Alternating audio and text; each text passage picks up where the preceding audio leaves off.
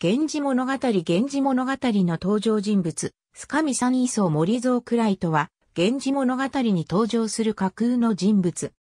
現在では、一般的な54条からなる、源氏物語には、一切記されていないものの、いくつかの源氏物語系図などに記されており、かつて、源氏物語の中の一環として存在したと考えられる、須守るなる名称の巻にその事績が詳細に記されていたと見られる人物である。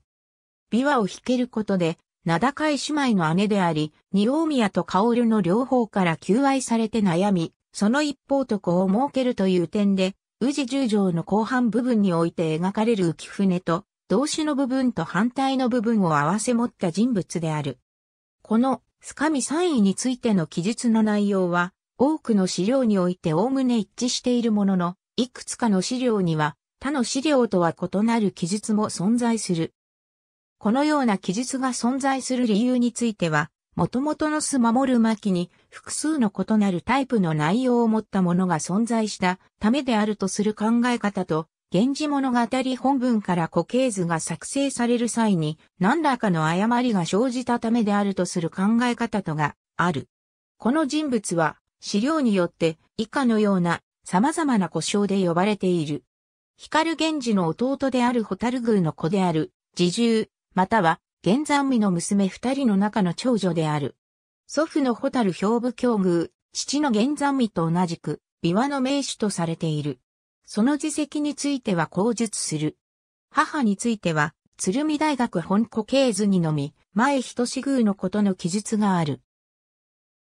兄弟姉妹としては、スカミの中の君、中の君、戦時、天時、妹の中の君、内視展示など資料によって様々な呼び方をされている。妹が、数と、ほぼすべての資料で、頭中将と記されている、男の兄弟が一人いる。薫との間に男の子を一人産んだとされる。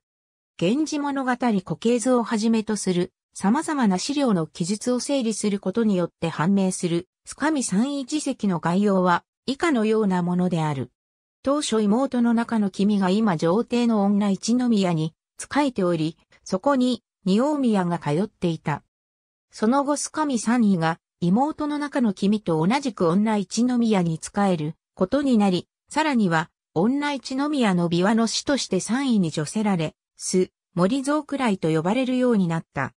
その後二大宮は姉のスカミ三位にも通うようになり、次第に妹の方には通わなくなった。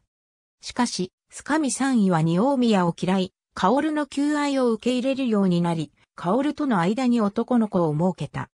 カオルとの間に子を設けてもなおも二大宮はまだす。森蔵くらいのもとに通ってきたのです神三位は、煩わしく思った。